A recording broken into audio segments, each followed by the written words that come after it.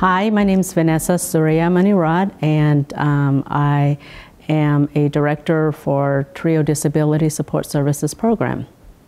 Um, let's see, I, uh, I was an alum uh, for Student Support Services Program and McNair Scholars Program. I graduated from Wichita State University with my bachelor's degree in 1996 and um, two years later received my master's degree in counseling in 1998. And um, I started as an academic advisor with uh, TRIO Student Support Services Program after I obtained my, my master's degree and uh, work as an advisor, then got promoted as the assistant director and then associate director. And um, I worked with student support services for 16 years.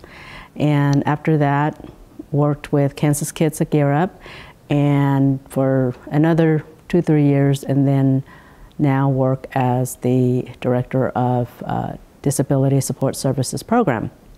Disability Support Services Program um, works with first generation and limited income students with disabilities. We are proud to say that we help those students to um, get their bachelor's degree even though it may take them a longer time to graduate.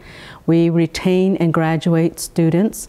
We work with 115 students and we provide academic support for students with disabilities. Um, our advisors meet with students on a monthly basis to discuss their um, scheduling, their courses, um, discuss how they're doing their classes, provide one-on-one tutoring, uh, scholarship opportunities, and um, study skills workshops. If it hadn't been for TRIO, I would not have the opportunity to be where I'm at right now.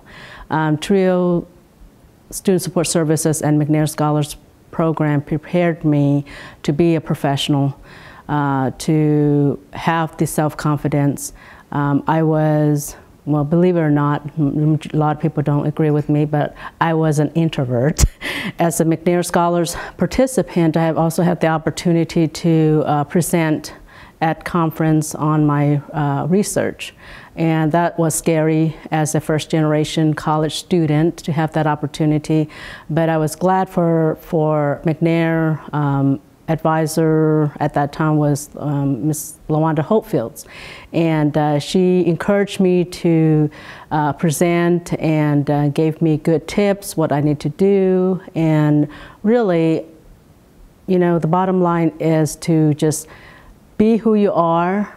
The programs really helped me to build my self-esteem and give me the confidence that I needed to, to get. And um, I'm glad to work with TRIO program because now I can give back. Do what you need to do to be a successful student. Go out there, um, seek help, look at all the opportunities that's available to you and utilize those opportunities and ask a lot of questions.